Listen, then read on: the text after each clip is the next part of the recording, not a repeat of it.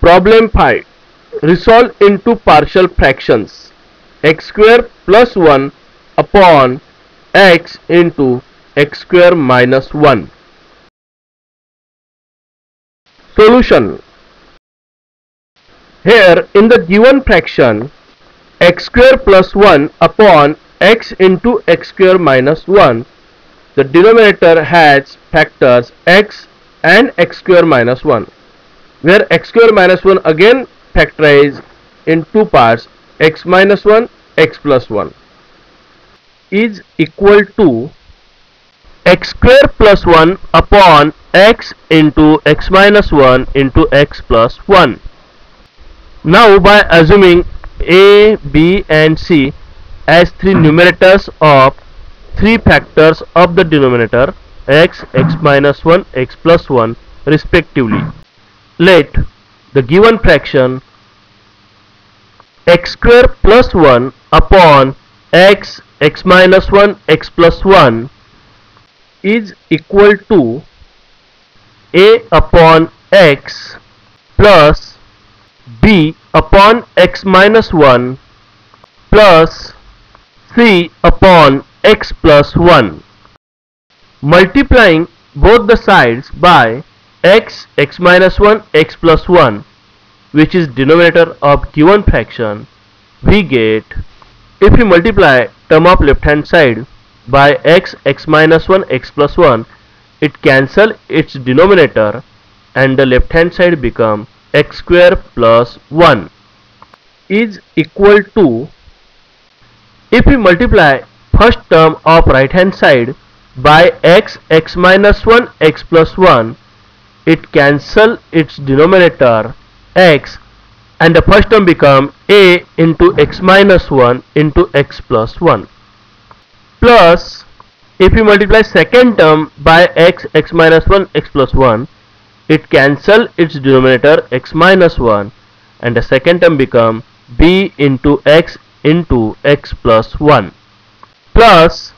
similarly the third term become c into x into x minus 1 consider this statement as number 1 now we have to find out three unknown terms a b and c. To find a first we have to eliminate terms of b and c. Therefore Putting x is equal to 0 in equation 1 we get replacing x by 0 the left hand side become 0 square plus 1 in the right hand side first term become a in bracket 0 minus 1 into in other bracket 0 plus 1 plus b into 0 into 0 plus 1 plus c into 0 into 0 minus 1 therefore solving the above equation we get left hand side is 1 is equal to in the right hand side a in bracket minus 1 remaining two terms of b and c become 0 Therefore, solving the above step, we get a is equal to minus 1. Now, to find b, we have to eliminate terms of a and c. Therefore, putting x is equal to 1 in equation 1, we get after solving equation 1, b is equal to 1. Now to find C, we have to eliminate terms of A and B. Therefore, putting x is equal to minus 1 in equation 1, we get C is equal to 1. Therefore, the given fraction x square plus 1 upon x, x minus 1, x plus 1 is equal to